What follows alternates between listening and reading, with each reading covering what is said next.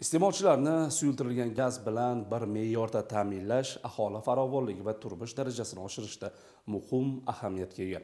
Hudud gaz andijon gaz ta'minoti filiali mutaxassislari aynan shu maqsadda tuman va shaharlarda qator ishlarni olib borishmoqda.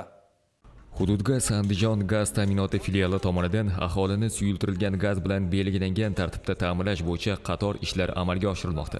Xususan baliqchi tumanining barkamol mahalla fuqarolar yig'inida suyultirilgan gaz iste'molchilari soni 572 nafarga yetadi. Aholiga ta'minotchi korxona tomonidan 675 dona maishiy gaz balloni ajratilgan. 290 dona shaxsiy ballon bilan birgalikda jami 965 ta maishiy gaz ballonlar xalq xizmatida.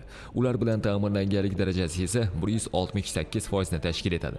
Mahallaga yil boshidan buyon 49.3 tonna suyultirilgan gaz yetkazib berildi. Bu ham belgilangan rejaga nisbatan 135 foizga ko'pdir. Bunda iste'molchilarni id kartalar bilan ta'minlash ham o'z samarasini bermoqda. Vaqtida bizga suyultirilgan gaz yetib kelyapti. Bir oyda bir marta eshigimiz tagiga olib kelib o'zlari o'rnatib berishyapti. Bizga eng qulayli tarafi shu plastik kartochka ekan. Plastik kartochkamizga pul solib qo'yamiz naqd pul ham istab yurmaymiz.